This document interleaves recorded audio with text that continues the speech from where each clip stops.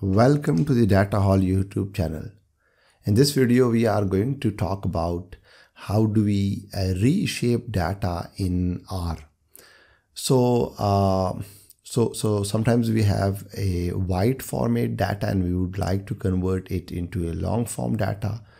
Uh, sometimes we have a long form data and we would like to convert that into a wide form data and uh, for this we have different packages. Uh, in R we have reshape 2 so these are the two widely used packages. Uh, reshape 2 and uh, tidyr which comes from the uh, sets of sets of packages related to tidyverse. Uh, so before we move into um, uh, this lecture let me let me discuss what do we mean by uh, long form and short uh, wide form data. So here we have uh, two firms and uh, we have their, let's say, net income or stock price for different years. Uh, but the way this data is set is that uh, we have a column for each year. This is what we call a wide form data where we do not have a specific variable uh, we, do, we do not have a specific column for a single variable. So this is a stock price and we do not have a single column for this whole stock price. Uh, compared to this, uh, this data set, uh, this is the same data, but I have converted this into a long form data. Uh, in long form, we have uh, we have a, a specific column for a specific variable, right? So instead of uh, having columns for each year, we have a column for each variable. Okay, so let's move to R and uh, let's look into uh, different ways how do we convert uh, this or reshape this data. So firstly, if uh, we would work with uh, the tidyverse package, right? And then we would look into uh, the reshape 2 package because these are the two widely used packages. Uh, if you are coming from uh, i mean if you have been using r for quite some time then you would be using a, reshape 2 package. Uh, so sometimes you have uh, code from different people. Uh, they might have written it earlier uh, during their career and they might have used uh, Reshape 2. So that's why it's important that we cover uh, both of these packages. So firstly, how do we install a package? We use uh, install.packages and write the name of the package. I've already installed it, so I would not uh, need to install this. But if you wanted to, you would highlight this and execute the run button or uh, press control uh, enter. Uh, then we would activate the package using library. So this is the tidyverse package. Uh, so I pressed control enter and this activated the package and gave me certain warnings. But for now, ignore these warnings. So let's uh, import some data set. So I have a example.csv file in my hard drive. Uh, it contains uh, data for different firms, right? Uh, for different uh, time periods. So we have different firms, their stock prices, and we have uh, different years. So this is how the data looks like. There are certain missing values. Uh, now, so how do we uh, import this data? We use read.csv and we give it the location of the file. In this case, I am only mentioning the the file name. And for that it is important that you have already set the working directory. If you want to set the working directory click, on session then go to set working directory and uh, click to the source file. So wherever this uh, this r code file is present uh, in this case i have it in my e drive in the reshape data folder right? So this is the folder. So i've uh, I have told R that uh, whichever file you want to search would be in this uh, this specific directory. So I've set the working directory. This is the command for it. Okay, so let me execute this. And what I'm doing is I'm saving this data into a data frame by name of wide data original. So if I can show you the data, we have this exact same data that that is coming from the CSV file. We have 29 observations and 8 variables. Okay, so let's using tidyverse package, let's convert. Uh, it is already in wide format. So if you can look at the data, currently it is in wide format by default. The original data set is in the wide format data. Uh, so what I want is first I want to convert from wide to long. So for this we can use pivot longer uh, command. Uh, pivot longer uh, as the name suggests is convert uh, from wide to long format. So uh, we already have it in wide format so we want to convert it to longer format so we use pivot longer then we uh, then there are different parameters that we need to specify the first parameter is that what is the data set that you want to convert. So you would have to specify the uh, the the data frame that holds our data. So in this case it is wide data original uh, the one that that is over here. Then we would have to specify which columns do we want to uh, reshape. Like we have symbols over here but we, obviously we want to reshape these columns. So instead of specifying all these seven columns what I said is that I use this exclamation sign and exclamation in R means not. So I have excluded uh, symbol column. So except for the symbols column right this one I want all these to be reshaped into uh, a long format because this does not contain the uh, the stock prices. So these are the stock prices, the rest of the columns. So except for the symbol column, so column you want to convert. I do not want this to be converted, uh, but these all to be converted from long to the wide format. Uh, then uh, we need to specify names too.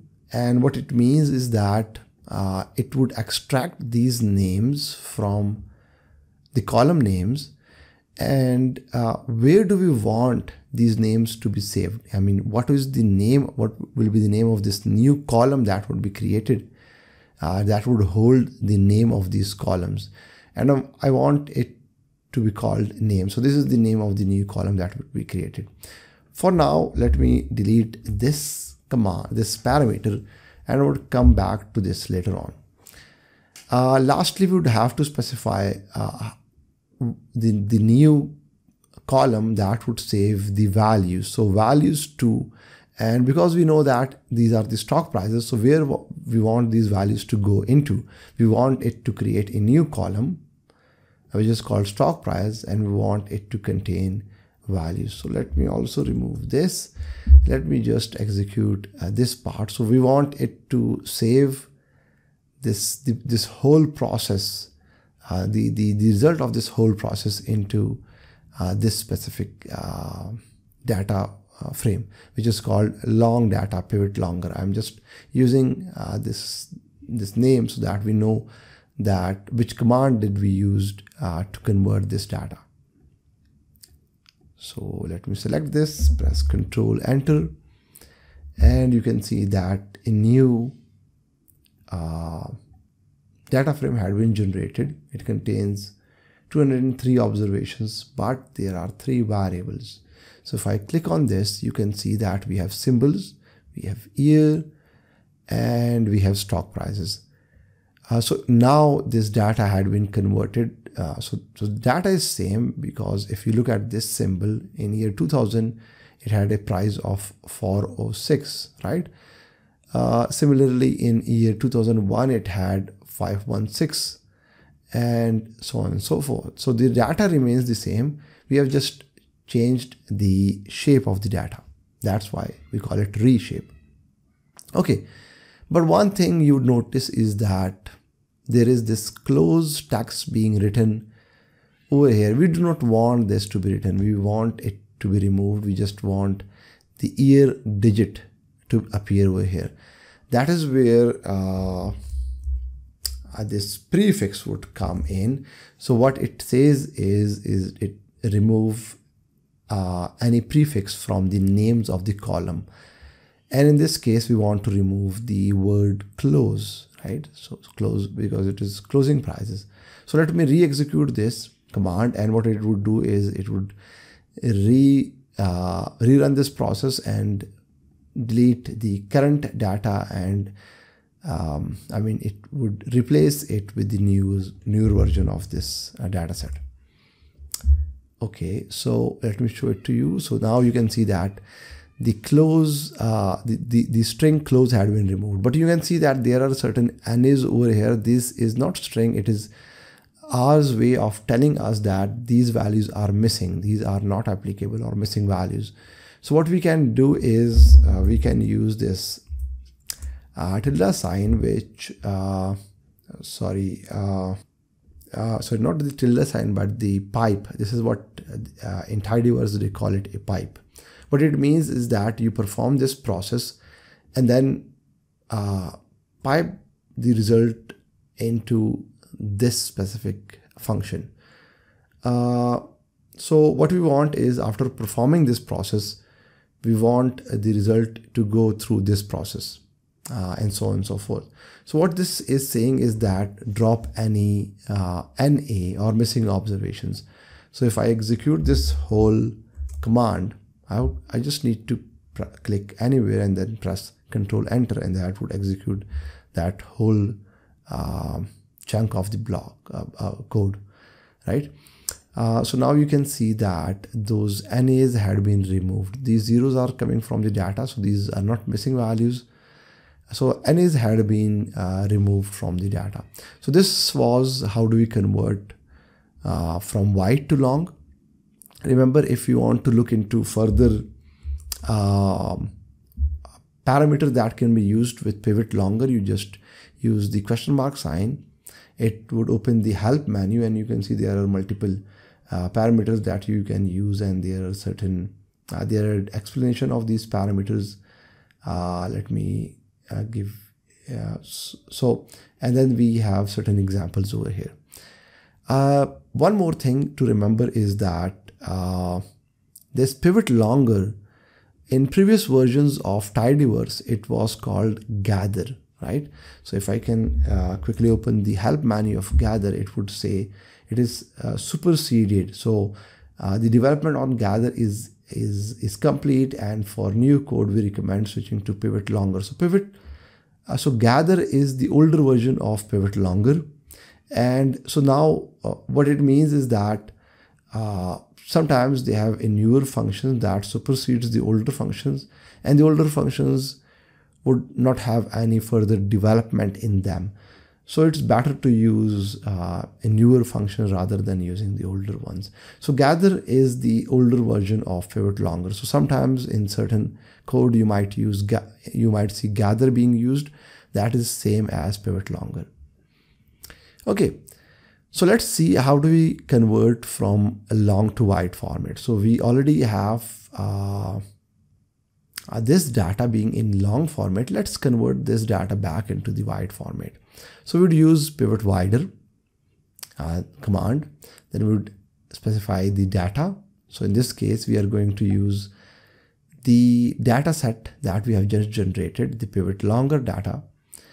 So we want uh, the names, uh, where should the names of the columns come from? Because now we would have a column for each year. So we want the names of the columns coming from the year column, right? So we are saying that the names of the column should comes come from the year column from the current data set. Where should the values come from? Values should come from the stock prices data. So let's execute this. Uh, click anywhere in the chunk uh, in the this code code block and press Control Enter, and you will see that a new data set had been generated, which is pivot wider and which is exactly similar to the original dataset except for the closed term, term the string that we had uh, we had removed. Okay. Uh, remember you can also use uh, also look into the help menu of the pivot wider.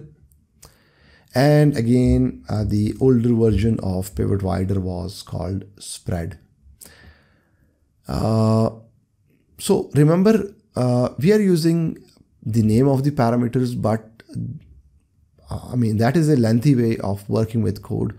You can simply, if you are familiar with how to work with code, you just uh, do not need to write the name of the variable, uh, the name of the parameter. You can just simply uh, uh, provide their uh, their values, right?